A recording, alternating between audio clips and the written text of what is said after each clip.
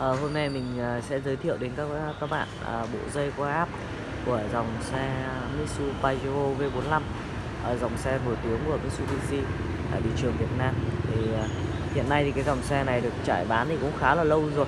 Thì à, do lý do gì đấy mà chúng ta sẽ dẫn đến hỏng cái bộ dây co áp này. Thì à, lúc ấy bắt buộc anh em chúng ta phải thay thế bộ dây qua áp này. Thì uh, phụ tùng An Việt chuyên nhập khẩu và phân phối phụ tùng của tất cả các dòng xe Mitsubishi tại thị trường Việt Nam với giá thành thì kinh cạnh tranh. Thì các bạn sẽ để ý ở đây là xịn chính hãng này. Trực tiếp phụ tùng An Việt nhập khẩu của phân phối. Đấy, thì uh, các bạn để ý này. Nhá. Ở trên các sản phẩm. Hàng cái dây rất là mềm. Và các cái đầu ờ, đầu này. Các bạn để ý này. Thì nó sẽ sử dụng à, đây là hàng chính hãng. Tiếp báo nhận nhập khẩu phân phối.